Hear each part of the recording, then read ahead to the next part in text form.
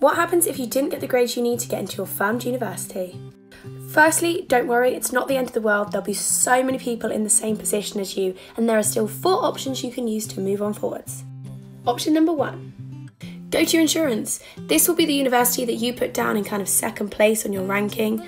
It should also hopefully have slightly lower grade entry requirements, so you should be able to get a spot there. Option number two. As daunting as it may seem, you can take your exams, you can take your A level exams in autumn if you would like to do so. So, if you're not happy with the predicted grades you got or how your exam results have come through, you can take the real exams like you would have had there been no coronavirus. Option number three enter clearing. What is clearing? I'll make a whole nother video on this. I'll pop it in the comment section so you can have an investigation there because it's a little bit more complicated. And finally, option four call up your university and just ask them to let you in. If you have just missed the grades, there is a chance they will accept you.